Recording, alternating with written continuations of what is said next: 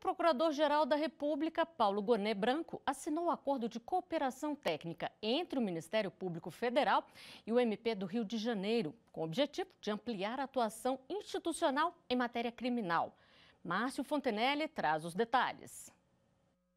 A proposta inclui a troca de informações de provas não sigilosas de procedimentos judiciais e administrativos que envolvam a averiguação de atos criminosos apurados pelos MPs. O objetivo é aumentar o poder de trabalho tanto do Ministério Público Federal quanto do Ministério Público do Rio de Janeiro.